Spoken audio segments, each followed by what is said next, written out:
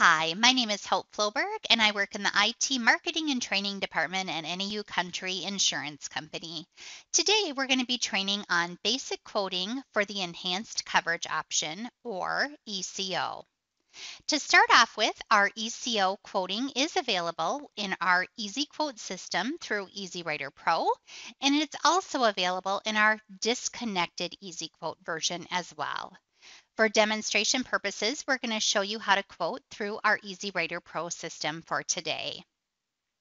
To begin with, open EasyWriter Pro, and at the top of the agency dashboard, we'll select the EasyQuote link.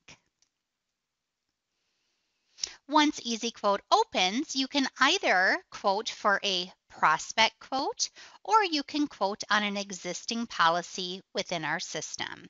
To quote on an existing policy within the system, you'll select the Open folder on this page, which will then take you to a search screen and allow you to search for your policy. Today, we're going to show quoting on a prospect policy. To do so, I'm going to click the M for the MPCI folder. Once the quoting opens up, you'll be brought to the quote line attributes window. Here, we're going to fill in our quoting criteria, and we'll begin by selecting our state. All of these values on the screen are set up to be forward typing, so in a situation where I'm selecting a different value, I can either use the drop-down box or I can click on the field and type in the first letter of what I'm looking to add. So here I typed in a C, which brought me right to the corn and cucumbers section. I'm going to quote corn today, so I'll just select that and move on to the plan.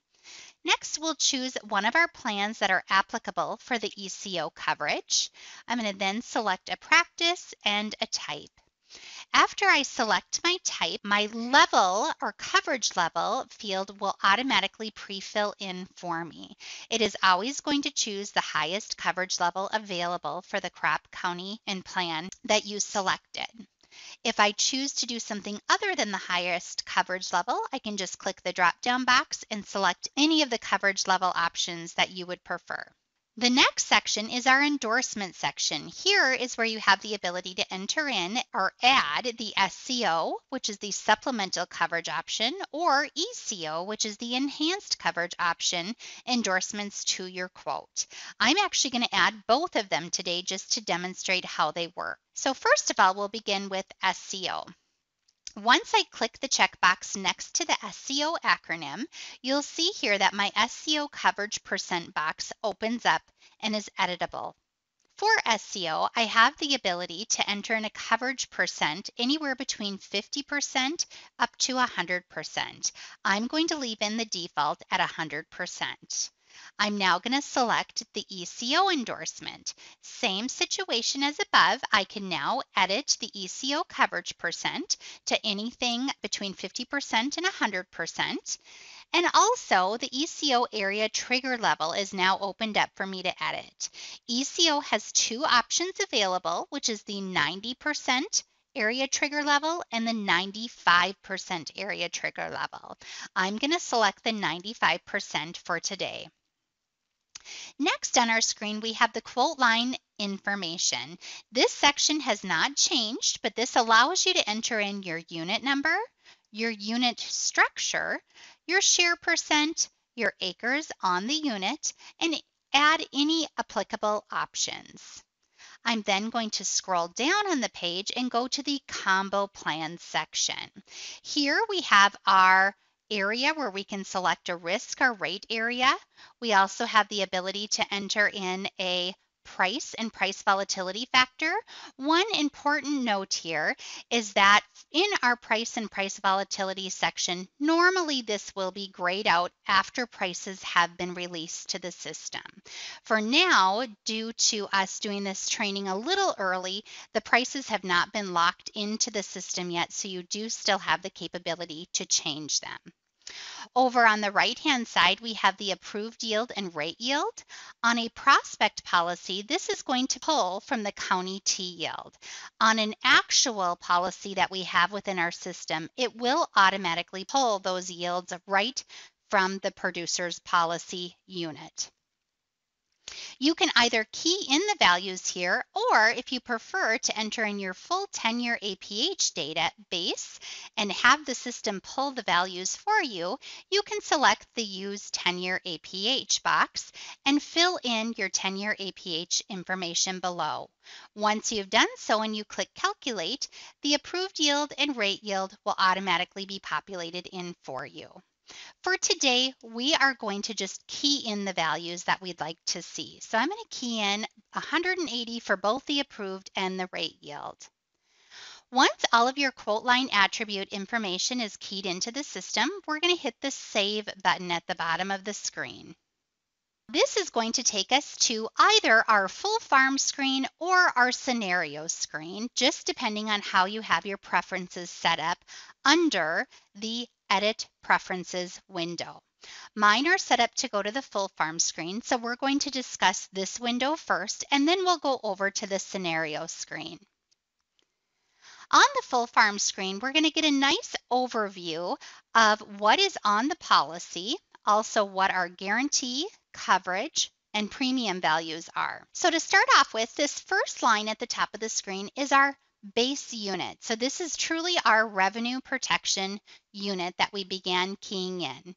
If you recall, we chose a coverage level of 85%, which you can see is displayed here. We also have our approved and rate yields that we keyed in.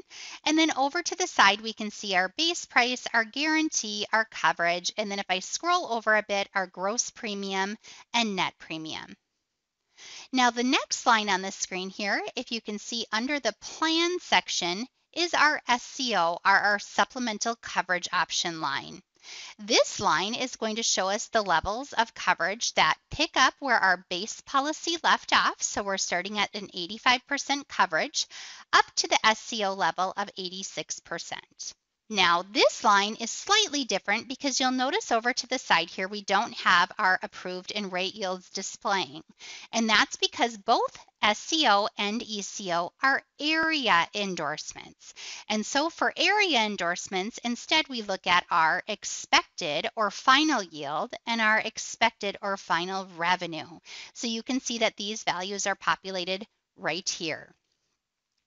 Our next line is going to be our ECO revenue protection plan type. So this is our enhanced coverage option line. Under level, you can see it picks off right where that SCO percentage stopped at 86%. And since we chose the 95% level, it's covering now the 86% to 95%. Over to the side, since it's an area endorsement, we're looking at the expected yield and expected revenue columns. Again, further to the right, we still have our coverage and premiums displayed.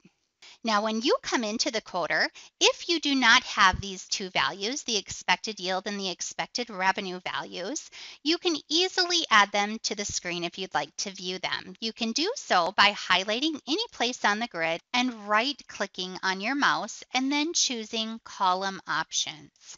When you do that, your Preferences window is going to show and it's going to be on the MPCI Full Farm section. Here you have your available columns displaying on the left-hand side, and you have your selected values on the right-hand side. Your selected values are displaying what's already currently displaying on your screen. So to add a new column, you'll just look at the available values and select your column and move it over to the selected values. I'm going to give you an example since I already have both of these fields added. I'm just going to give you an example on adjusted yield. So you'll grab in your situation, you're going to look for expected yield and expected revenue. They're all in alphabetical order.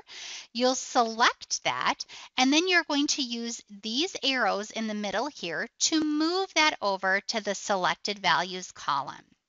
It's always going to, first of all, start off at the bottom of the window or at the the last section in the grid. And what we want to do is we want to move that up so it's placed right by our expected revenue in this situation. Normally you'd want to move it next to your approved yield and rate yield. So I'm going to highlight that and I'm going to again use these arrows on the right hand side and I'm going to move it up.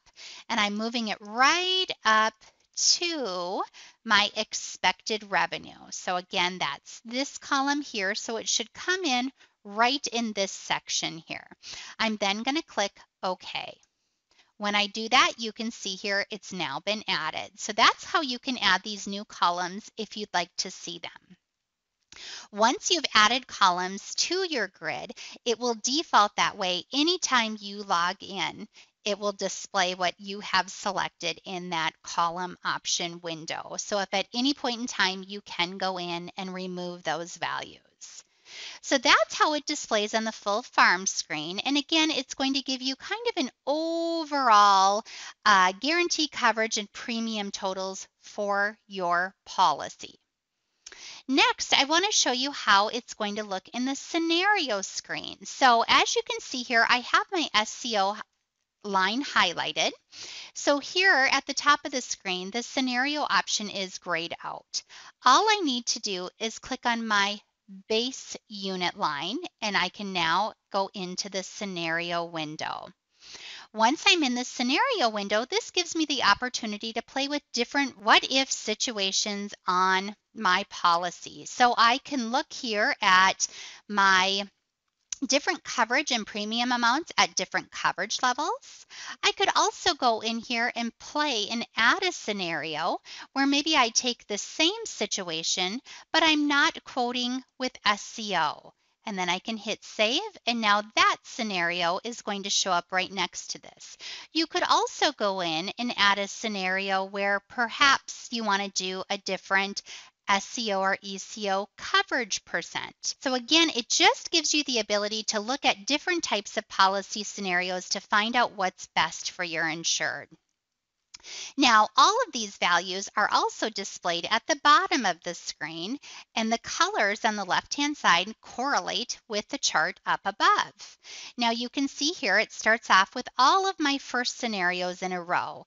If you'd like to see them compared side by side, you can just click on this top section here, and it'll make them so you can see them compared for each area side by side. Over on the right-hand side of the screen, you can see that the harvest price is still set at our base price because we're looking at the insurance cost right now.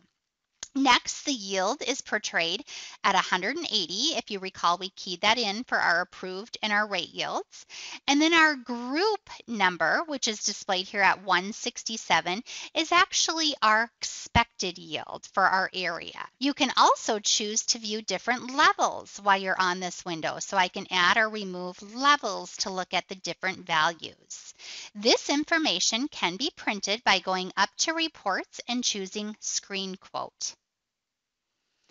Another area that you can focus on in the scenario screen is what if indemnity situations. So in this situation, I could also come over to my graph type and I can choose insurance indemnity. When I do that, I can then come in and play with different scenarios as to what my indemnity totals could be if a specific harvest price came in, or if my final yield came in at a certain value. So let's play with that for just a moment. So for my harvest price, let's just say the harvest price comes in at 550. I'm going to leave my base yield or my approved and rate yields the same for now, but I'm going to come in and I am going to change my expected yield. And I'm going to change that to 130.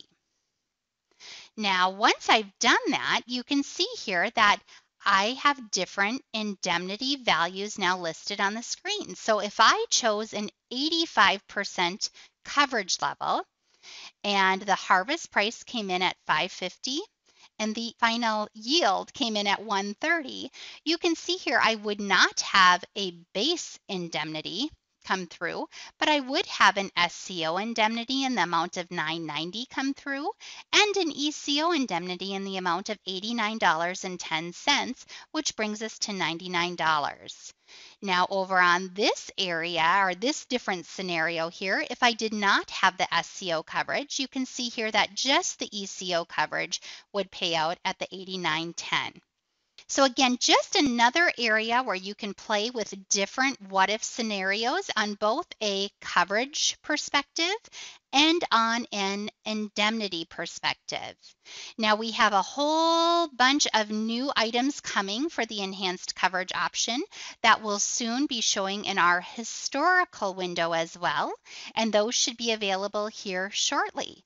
But for today, we hope you enjoy our basic quoting that's currently available on ECO. And if you have any questions or concerns, please reach out to your NAU country marketing representative. Thank you and have a great day day.